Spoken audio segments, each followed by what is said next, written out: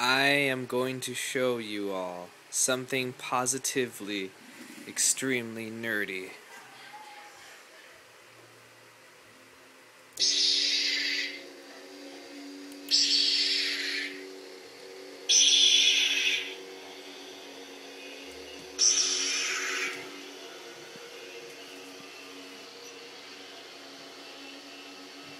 Good lord.